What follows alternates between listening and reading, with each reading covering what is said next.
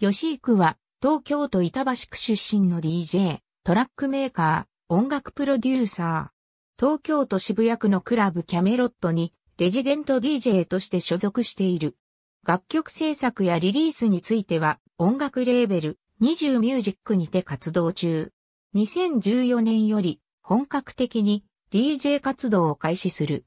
4つ打ちを軸としたオールミックスのプレイを得意とし、独自のグルーブでオーディエンスを魅了し続ける DJ。2016年より若くして年間約30万人を収容する東京、渋谷のクラブキャメロットのレジデント DJ に就任。毎週末は約3000人を前に DJ し、多くの人をロックし、クラブキャメロットの中心的存在として活躍中。2018年には、ウルトラジャパン2018にも初出演を果たし、その年の後半には、DJ マグジャパン U-29DJ 部門でランキング2位を獲得し、知名度は全国に広がりを見せる。2019年もウルトラコリア2019、ウルトラジャパン2019に立て続けに出演し、クラブだけではなく音楽フェスティバルへの出演も精力的に行っている。DJ だけではなく楽曲制作にも力を尽くしており、2017年7月には初のオリジナル楽曲でジャビューをそして2018年4月にはセカンドシングルのインザプレイスをリリース。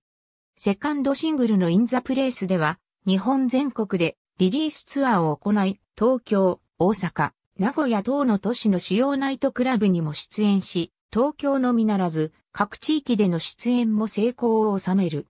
2018年末に制作したイグナイトでは、初の海外レーベル、ピークアワーミュージックと契約し、世界的に有名なダンスミュージック専門サイト、ビートポートのジャンル別チャートにてランクインを果たす。